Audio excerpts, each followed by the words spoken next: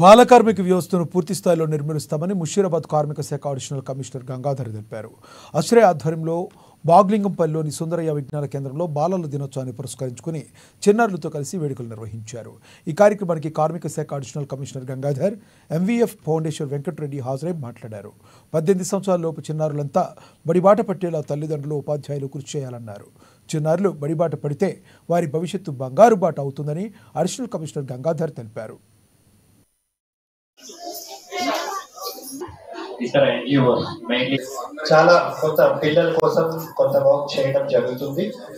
Labour department ఒకటే కాదు school education women and child welfare police అన్ని వేరే వేరే డిపార్ట్మెంట్స్ అంతా కన్వర్జెన్స్లో ఒక కలిసి పిల్లల్ని ప్రొటెక్షన్ కోసం చైల్డ్ డెవలప్మెంట్ కోసం ఎడ్యుకేషన్ కోసం గవర్నమెంట్ నుంచి ఒక కమిట్మెంట్ ఉంది. కంపల్సరీ చైల్డ్ ఎడ్యుకేషన్ మీద కాన్సన్ట్రేట్ చేస్తారు. చైల్డ్ డెవలప్మెంట్ మీద కాన్సన్ట్రేట్ చేయడం జరుగుతుంది.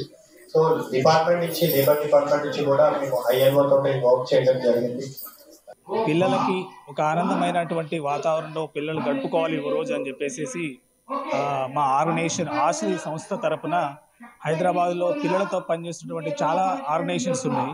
వాళ్ళు వాళ్ళ వాళ్ళ ఏరియాస్లో రకరకాల ఇష్యూస్ మీద అంటే పిల్లలు చదువుకోవాలని వాళ్ళకు భవిత ఉండాలని ఎదుగుదల ఉండాలని చెప్పేసి చాలా ఆర్గనైజేషన్స్ పనిచేస్తున్నాయి.